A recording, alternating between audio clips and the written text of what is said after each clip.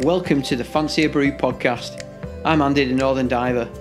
In this series, I'll be discussing adventure, conservation, and progression in scuba diving with some really interesting and inspirational divers that you might or not have heard of. The podcast is supported by Northern Diver International and you, the listener, through Patreon. So grab yourself a brew and enjoy this week's episode. Nice to see you. Thanks for coming. And you, mate, how's it going? Long time no see since uh, Northern Diver. I know, yeah. Uh, to be fair, that only feels like last year, but it was probably the year before. Was it 2019? That I think it was, mate. I think it was the back end of that year, so pre ridiculousness. Um, yeah, it was. It was the back end of that year, mate. No, actually, do you know what? It might have been earlier, earlier last year. Super early. Um, yeah, it was because it was all about me spending money on training, so I had to get it in before no, I, no, it was. It was. It was December time, I think. But anyway, hey, how's life, mate? Right? Yeah, I'm all right. I've, uh, I've, I've done a couple of videos. Obviously, you've, you've probably seen what I've been doing. Yeah. And a company called Orca Torch. I don't know if you come across them. Right. Um, they wrote to me a couple of weeks ago and said, "We'd like you to do a video to sort of highlight, you know, our, our new product line." So they gave me yeah. this, this torch. It's 160 quid will you make it? We make a little unboxing video for us because I've done one. I bought a new camera housing a few weeks ago. Yeah. And it, they must have seen that and thought it was okay. So they said, "Yeah, I will send you a torch. Will you do this unboxing video?" I spent days on it, and I just can't learn my lines. I'm just yeah, yeah, yeah, in, yeah. In monk mode, honestly, it's horrendous. That's what superstardom does to you, mate. Behave. Well, I did. Um, I did a really good attempt at it earlier on today, and I have my camera just sat here. Mm. But there must be some interference with this mic that I'm talking on and the one that's like mounted on the top of my camera. Yeah, yeah, yeah, yeah.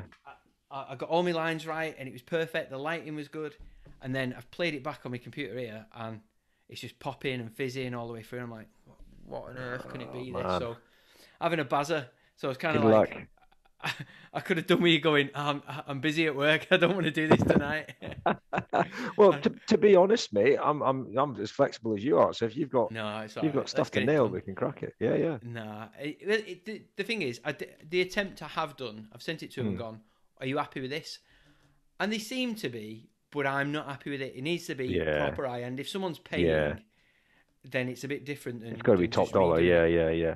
Thing is, if you're not happy with it, you know, you know what right looks like. So if you want to get it right yourself, yeah. it's it's still beating yourself up, isn't it? It's like well, you know, with photography, you take a picture and you go, "Oh, if only I'd just done this or that." Or, yeah, yeah, uh, so yeah, right. It, will come. I mean, I, have just had a chat. I was having dinner there, and I was telling my wife, and she said, "You know what? Perhaps just leave it." Leave it till Saturday yeah, or Sunday, yeah. and yeah. and just come back to it, and, maybe you'll just bang it out. I know the I know the lines. I just yeah. keep I'll say a word that doesn't exist, or I'll say a word that sounds like the word it should be.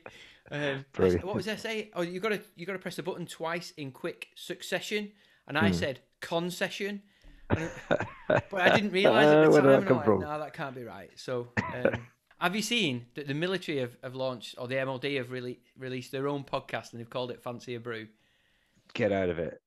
Bertie. I hope you've uh, I hope you've copyrighted that, and I hope you're going to sue them for millions well, I wrote to him on their Instagram page today and I said, I think we need to have a chat about your podcast name.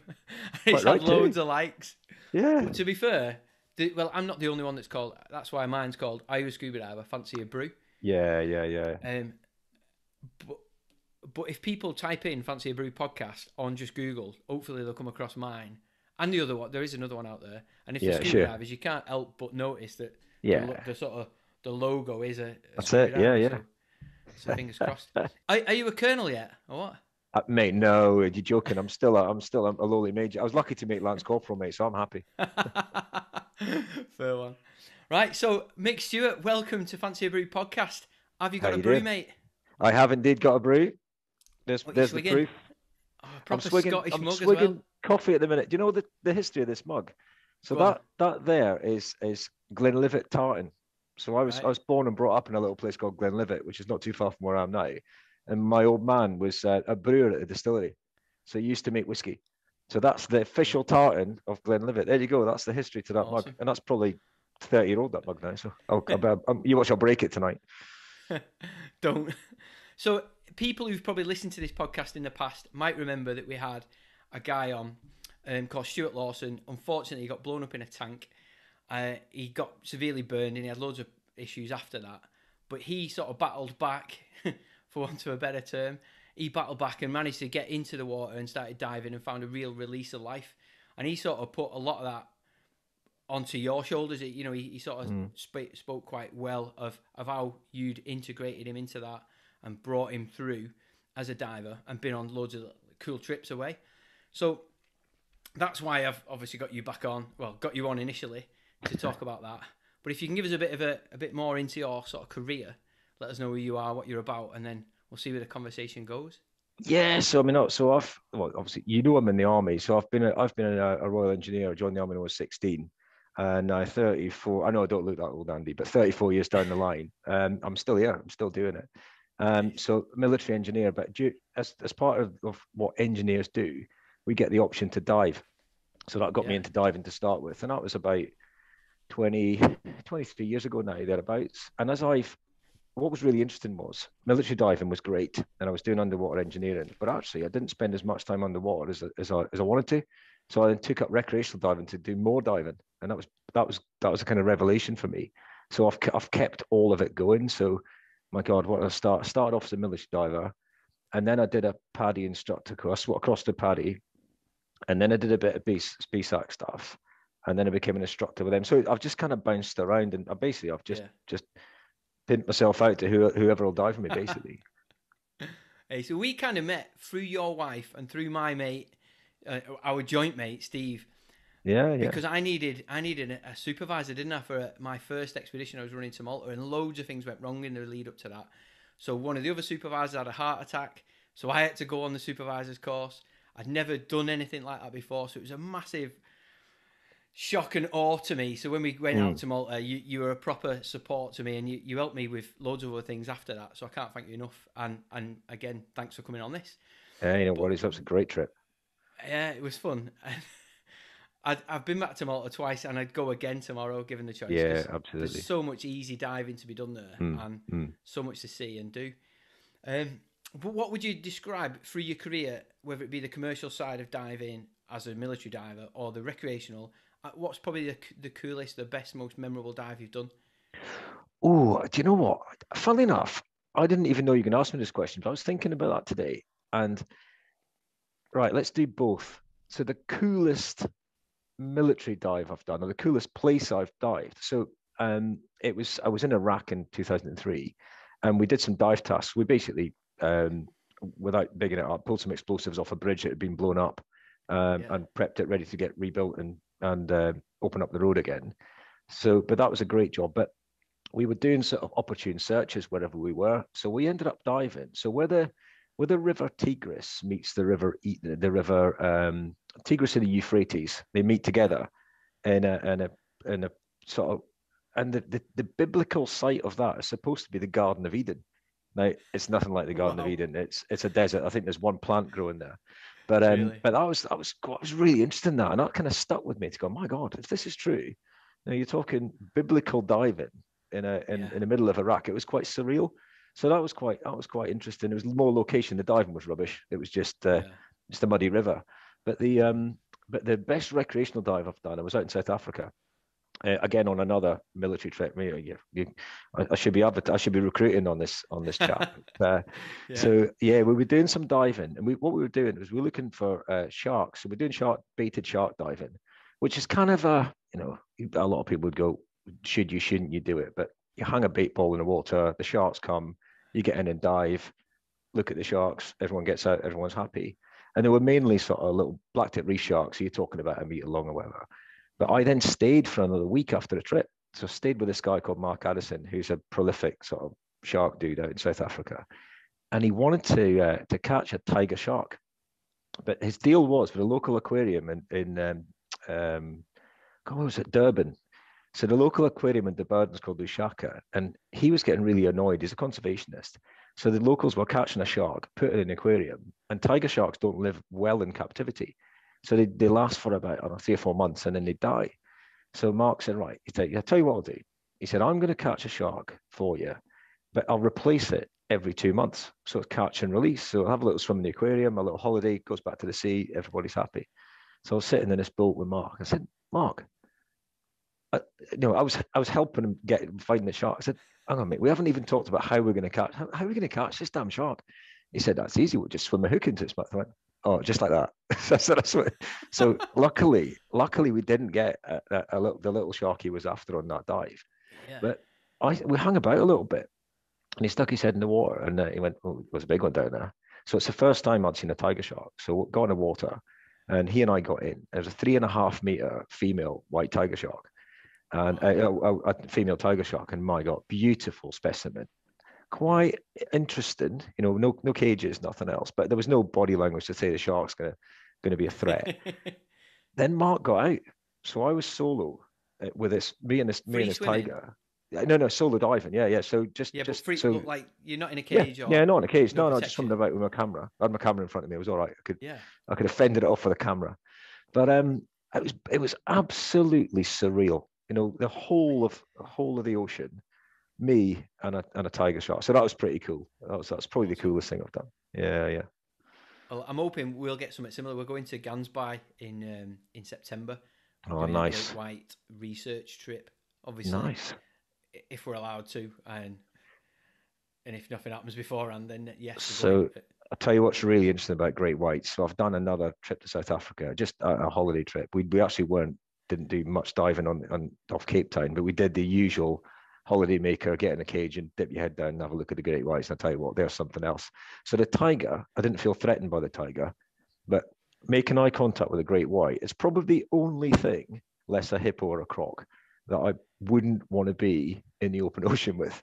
So they just look evil. They're absolutely yeah. They're beautiful creatures, but my God, mm. they are they are just pure killing machines. I think. Well, they, they, they look full of scars. They look like, like mm. a bouncer, don't they? It's just ready to pounce. They look like Steve Kirkman. That's what they look like.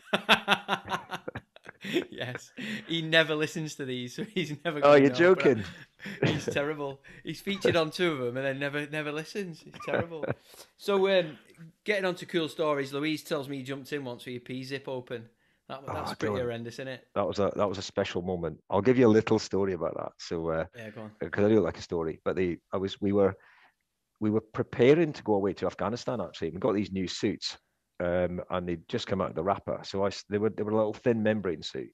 So I said to the guys, I said, look, there's no point going out to Iraq and opening your uh, to Afghanistan and opening the bag and getting your suit on. You, know, you need to try it out before we go. So we'll go down to Vobster Quay down in um, in Frome, and we'll have a dive in it. So I went right, and they were looking at me like I was stupid. It's like it's about two degrees in the water, and this little crisp packet thin suit.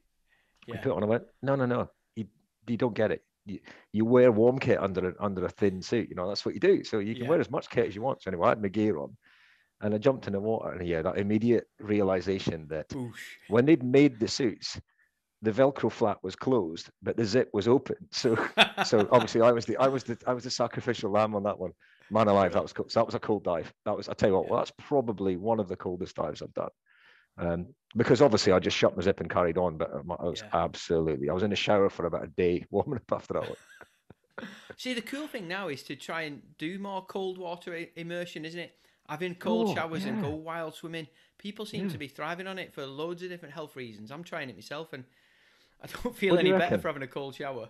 Yeah, well, that's I say. You know what? I was, I'd, uh, I'm doing a, a bit of a sort of high performance coaching course at the minute, and it's one of these oh, you're bad. I'm doing it as a group. I'm doing all this bad habit stuff. So the guy who's doing it, he's pretty, he's bought into all this stuff.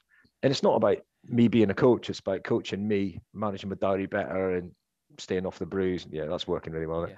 But, um, you know, but he said the same. He said, yeah, yeah, and I have a cold shower every morning. It's like, no, I'm not there yet, mate. I get it. And it's open water swimming and stuff, but I quite like the warmth, mate. I quite like a warm shower.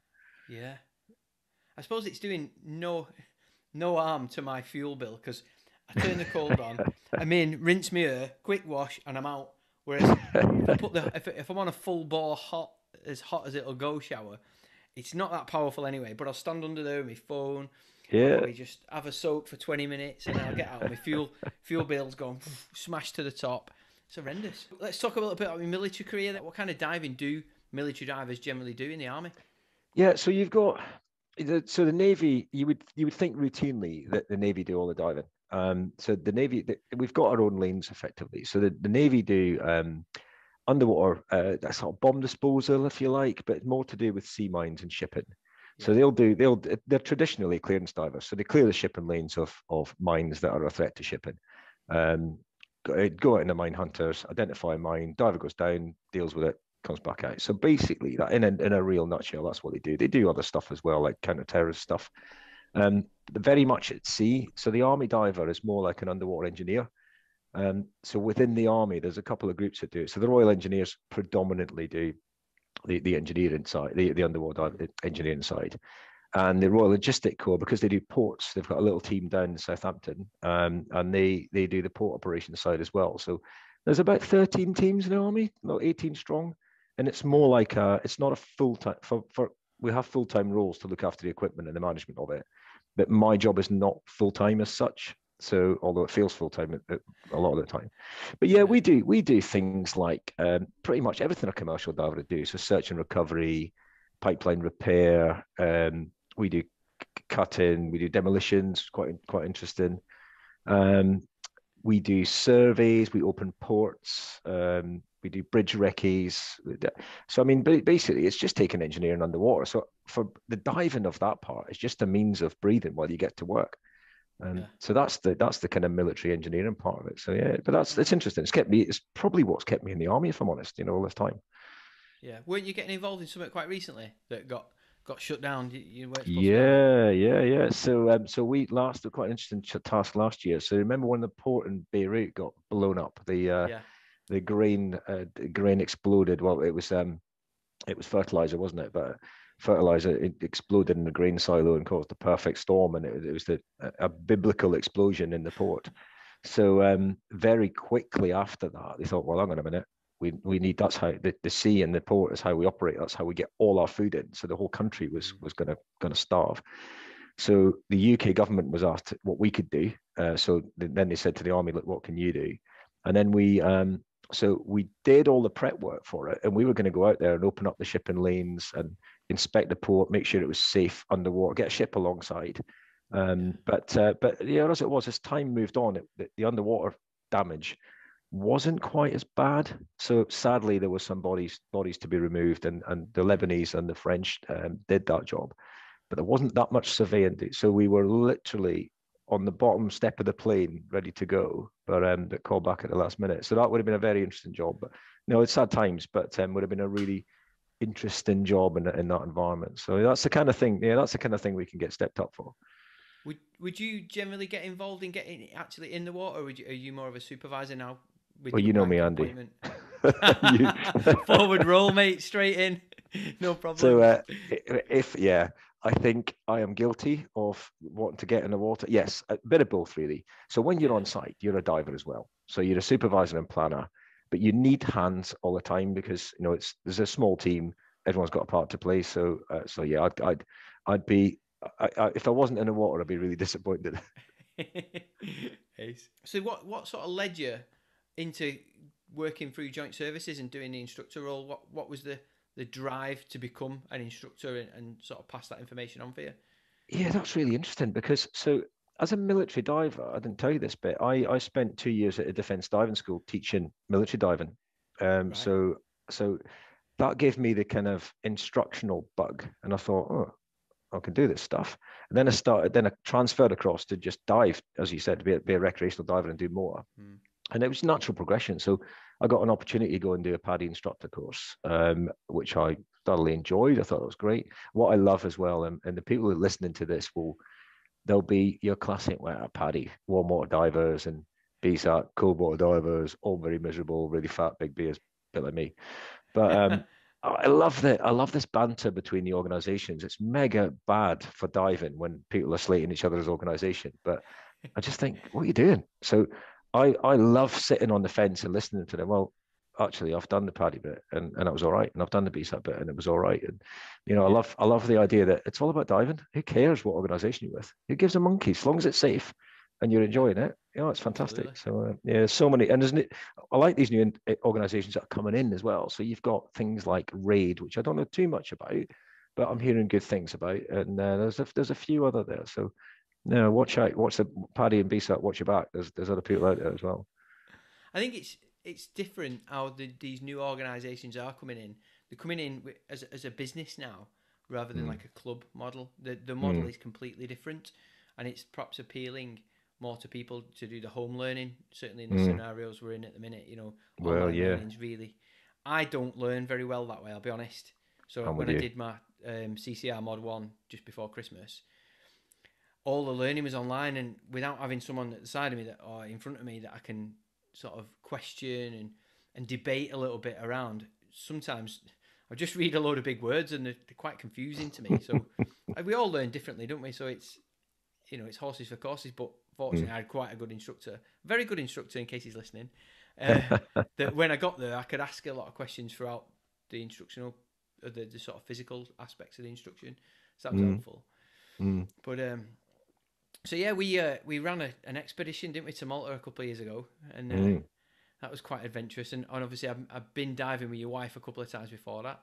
So, mm-hmm. uh, what what's your next exped? Have you got any coming up that you can plan? Well, so yeah, we've got a little bit of a drama at the moment, haven't we? We've been a bit dry for a, for a year yeah. or so, but um, so the next exped I've got coming up. So we've got a plan to go to the west coast of Scotland. So keep it local. Right. Um, so there's a great diving area between the Isle of Skye and the mainland. Um, so Kyle of Lochalsh, that area there. So we've got a little plan to go and do some stuff up there. Um, there's there's always something bubbling under. You never know what's coming up next. But Malta's been mentioned, possibly Egypt in the summer. I mean, it's all yeah. this is all dependent on the situation, isn't it? But um, mm-hmm. and then what we have got though, we've got another um, uh, sort of diving with the injured exped planned. Funnily enough, that that we discussed that on Saturday, and that's going to be likely the Maldives. So where we, I think Stu, wow. we took Stu to the Maldives. So, uh, um, so yeah, so that's that's the next, that's the, the look forward to, I think. But yeah, it should be nice to get back in the water, wouldn't it? Yeah. So let's let's touch on. We'll stay on the military bit for a second, and then, and we'll obviously gravitate onto the next bit. But you were quite in, instrumental, weren't you, with the Battleback scheme with Help for Heroes, the sort yeah. of back end of, of Afghanistan and that. It was indeed, yeah. So, um, so I interestingly, I, I was in Afghanistan in 2008. Um, and then at the time when I came back, there was a I was part of well, I still am part of the Army Sub Aqua Diving Association. So I'm the diving officer for that now. But at the time, I was looking after the equipment because I'm a bit of a, a, bit of an equipment geek. And um, one of the guys you've got loads and loads and loads of kit. Oh, you don't want to see my garage at the moment. It's un- unbelievable. I need to let go. But yeah, well, you know the score about that. yes. But um, yeah, so uh, I we were discussing um, lots and lots of injured people. I then saw a presentation on on Battleback, which was um, a Headley Court, so a rehabilitation centre, a really powerful brief of a guy called Ash Clare, who said, um, "Yeah, we've got all these injured guys. We've got so many um, amputees and injured this, injured that." And he said, "But look at this." And he's got this exercise called Timmy's paddle, and, and uh, the guys, you know, rehabilitation through just doing stuff. So good for the mind, good for the body, good for the soul. Um, kayaking, climbing, parachuting, you name it. And we thought, oh, what about diving? You mentioned diving yet, mate? He's like, well, can we do that? You know, the guys are pretty injured. Well, well, let's have a go. So ultimately, a guy called Guy Wallace, who was the chairman at the time, ex Falklands vet, had dived with a guy routinely with a guy with a miss who was missing below the knee.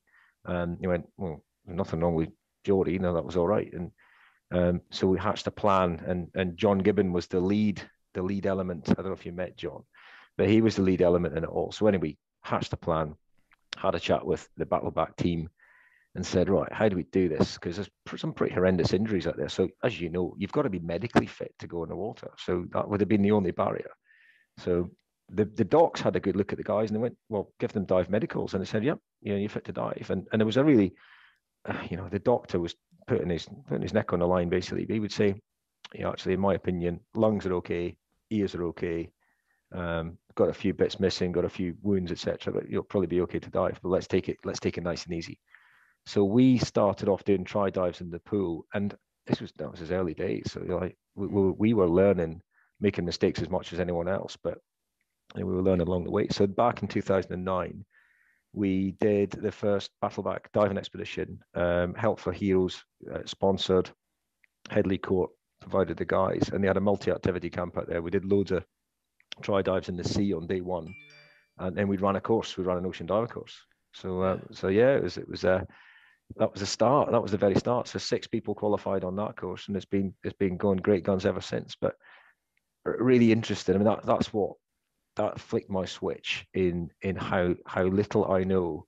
So when you think you can dive, you then go and teach, and then you realize how much you actually don't know, and then you become probably a better diver because you actually need to understand the theory that you that you're delivering. Um, then you switch it up to that, and you think, my God, I'm back to I know nothing. These guys are brilliant, and I know nothing. So I've got to catch up with them um, to uh, you know to be able to, to transfer what they know into into diving. So it's it's great. It's great for the mind. Do you think that's what encouraged um, associations like BSAC perhaps to start developing their diving for all program? Yeah, that's interesting. So, uh, so I'm involved in that now. Um, I think I, I, always have been. So, John John was the man for this. So John Gibbon took um, took what was called uh, uh was it disabled? I can't even remember what it's called now. Disabled diving, um, which is a horrible name in it on it in itself. Yeah.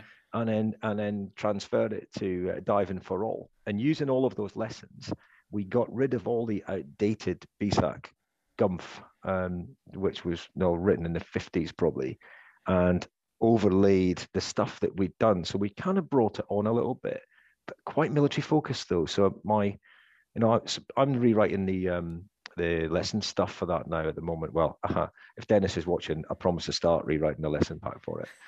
But um, so Dennis Wigg and I are involved in, in moving diving for all to the next level.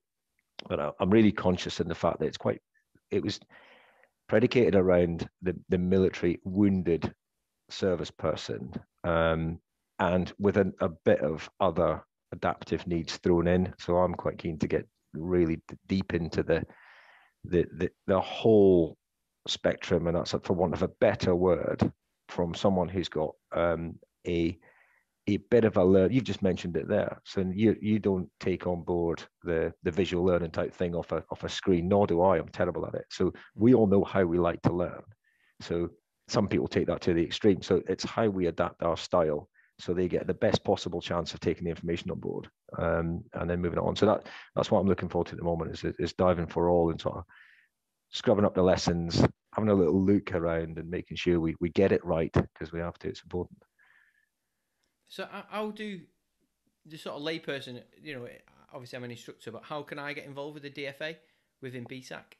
Well, it's it's really simple. So all you do is say, um, I, I quite fancy the idea, and you go along to a course. It's a one-day course, um, and it just teach. So what it does, what it does, it doesn't teach you how to be an instructor because you know that already.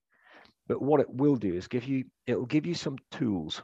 So it won't say, and and I've I've learned from this in the past. So let's say, um, I'll give you an example that I can uh, that I know really really well. So a, a guy who's missing both his legs and an arm. So you've got a diver with one good arm, and and you have to um, you have to think right. How firstly, how are we going to get in the water? Oh my God, how are we going to get out? How's he going to control his buoyancy? How's he going to recover his regulator? How's he going to clear his mask and all these little things? And how's he going to do it all at the same time? And you, you blow your own mind. Um, and when just when you think, you've so we'll we'll sort of the, the, the course will give you some tools to think about how you might get around the issue. Um, with more importantly, with the individual. So you don't you don't make up you don't make up the plan. It's a two way process. Right. So you, but what works for diver A who's only got his right arm. Doesn't work for diver B, who's only got his right arm. So you've got to start again and you think, oh my God, I've, I've got to work it out. So yeah. it's the, the, the, the course will give you the tools you need. I, my little mantra to myself is never, and this is the same whether, whether people are, are fully functioning or at the, at the opposite end of a huge, horrible spinal injury is never make, never bring them out of the water in a better condition or no worse than they went in. So, you know, you want to try and make sure that they enjoy the experience, and that's regardless of age, gender, whatever. Make sure they enjoy it. Um, don't injure them.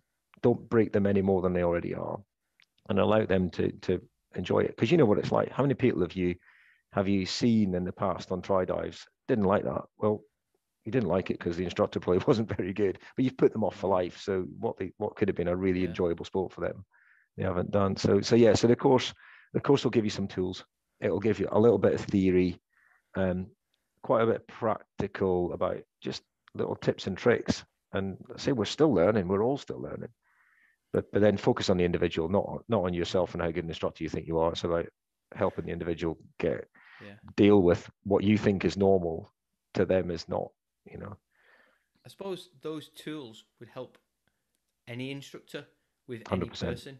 Hundred percent. So, like, it, they don't have to have a, a an would you call it an abnormality? You know, they don't have to have something missing mm, mm. for for you to be able to apply some of that tools or some of those. I'll give you a, to... I'll give you a really good example. The um, so someone is struggling to clear their mask. We've all had that, um, and there's there's more than one way to clear a mask. But I remember I, I had a girl in, in fact, it was on that diving trip in South Africa, and she'd been given up on by the instructor. So he went, no, she's she's not diving for the rest of the trip. I've given up. And then they went off and did open water dive one. I was thinking, hang on a minute, sharks out there. I want to be out there. But I said, right, give, give me give me a go. Let me have a go. Because I do I do like a challenge.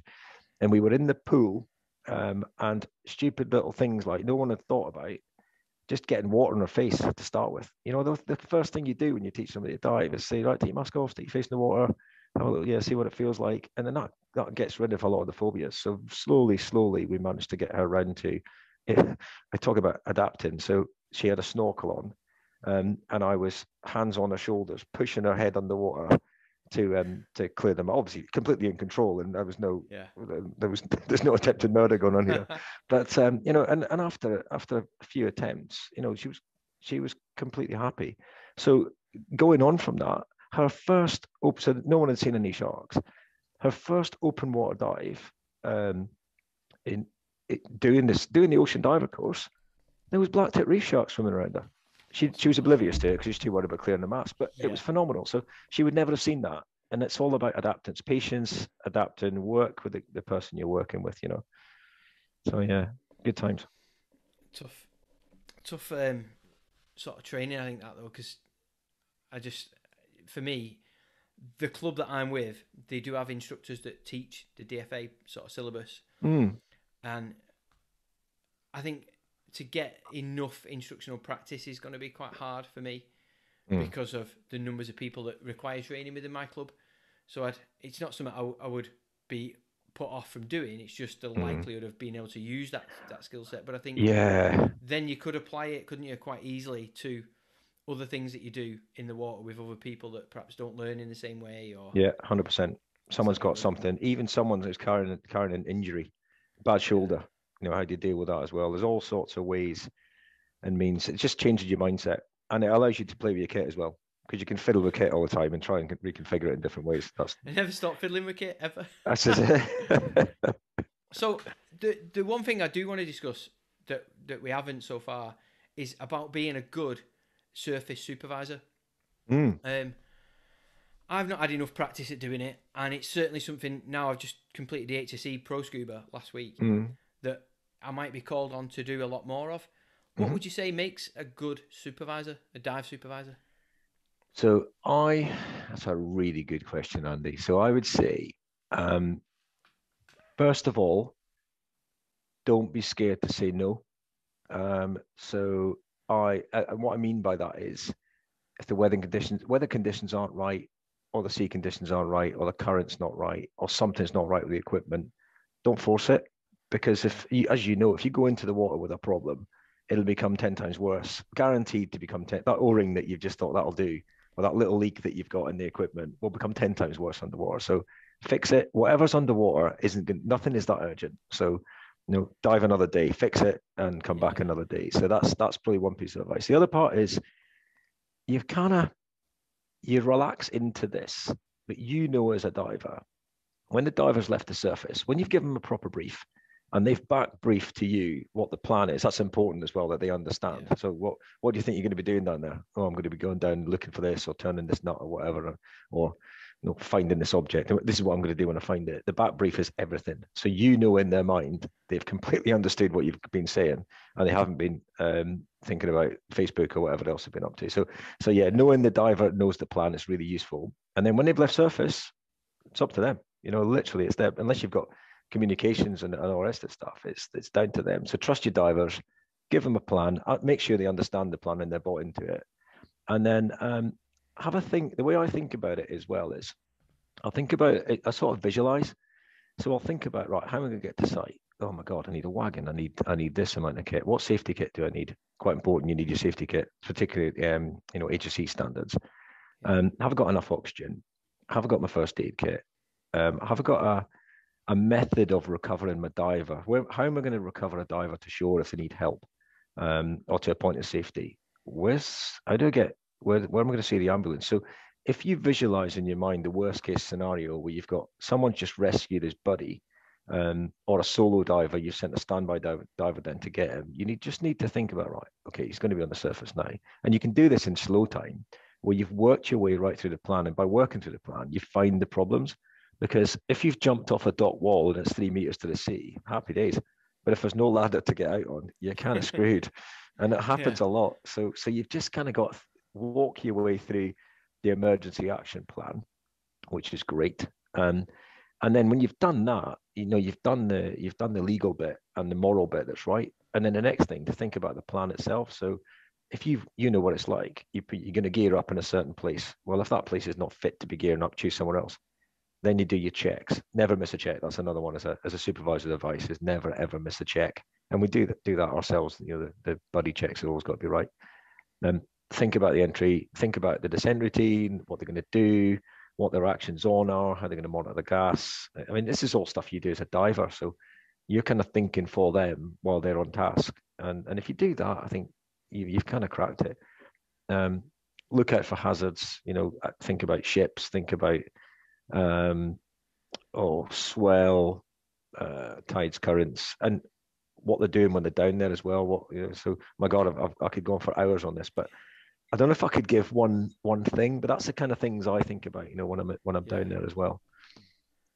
Hmm. Do you use um, like a hard hat or do you use a full face mask when you're doing uh, military diving? We use we use both, Andy. So um, so when when we're self-contained, um, so think scuba, think 12 liter cylinder, um, three liter pony, full face mask, communications, and you've got a little valve on the side of the mask where you can switch to your to your three liter pony. We're kind of looking at changing that at the moment because it's not the best system. Um, it's okay, but it's not the best system. We use that for our shallower stuff and our, our um, you know, boat diving stuff. But then when we get into the underwater engineering side, we're into full commercial. So we've got um, uh, gas panels on the surface, um, feed it through an umbilical hose down to the diver, and the, and the diver will wear a um, yellow sort of Kirby Morgan helmet um, to do their work in. So that's the hard hat aspect of it. But yeah. That's um, and that's really useful because even even though you've got a, a you know pumped supply down uh, down what pumped, I'm going back to the old days now. You've got a you've got a pressurized supply down to the diver.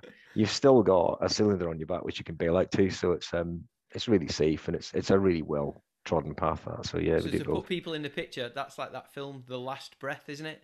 So ah, that's right. Yeah, yeah, yeah. That was amazing. Was nut, oh my that god, was story, that wasn't it? It was absolutely mental. Yeah, I mean, what a great story.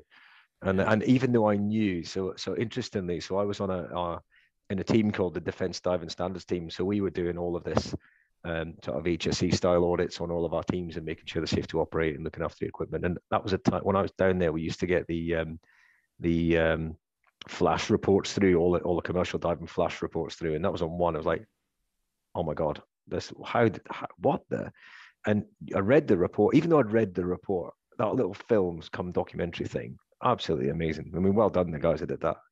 Yeah. We didn't, when we first watched it, we'd never heard of it. We were just flicking through Netflix, I think it was, and came across it. Oh, it's scuba hmm. diving. Mm. Let's watch that. And it's not scuba diving, clearly. Yeah. But I uh, watched it. It's not a film you can watch twice. And we best not talk about the punchline because it would ruin it for everybody. But I don't That's think you could point. watch it twice knowing the outcome.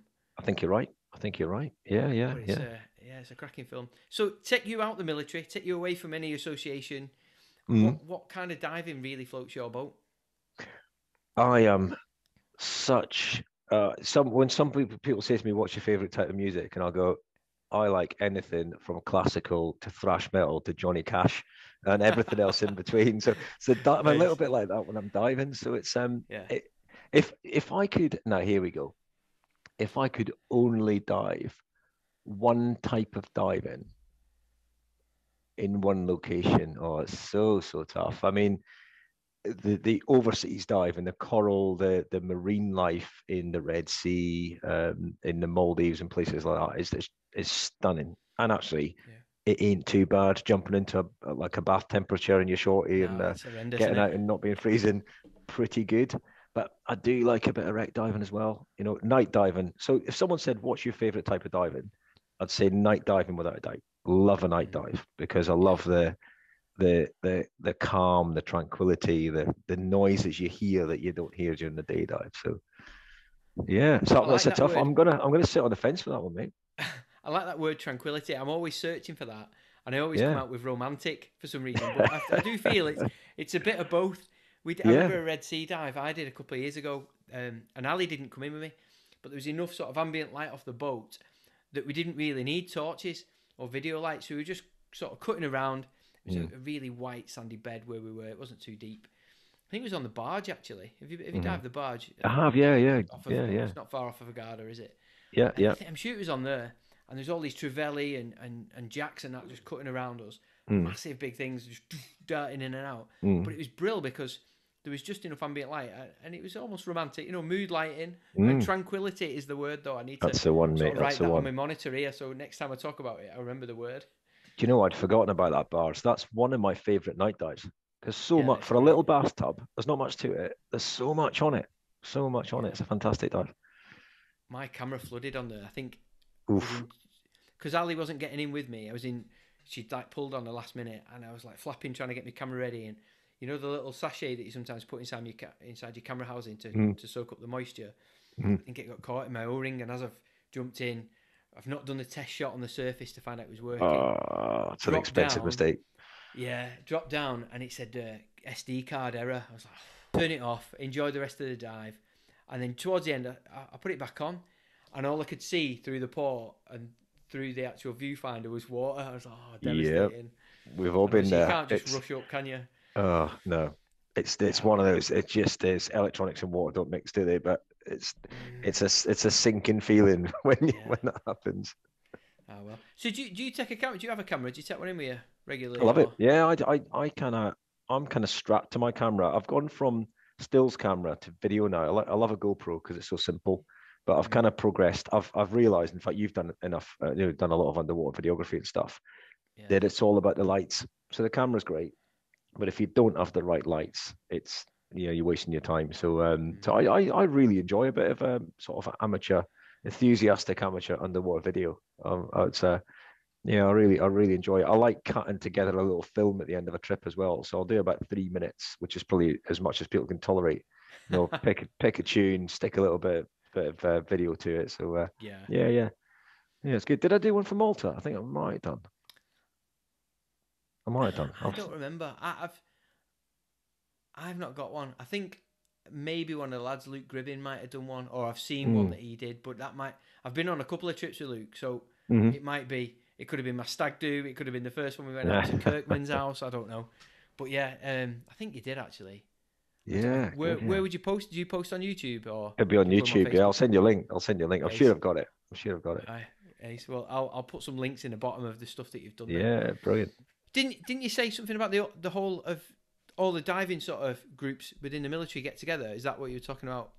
Yeah, we've got. A, so that's another thing I've developed while being in the military is um is a diving concentration, uh, and it worked. You know what? It would work for any any diving organization, but you get all the dive teams together in one place, and we we just share best practice. So we do.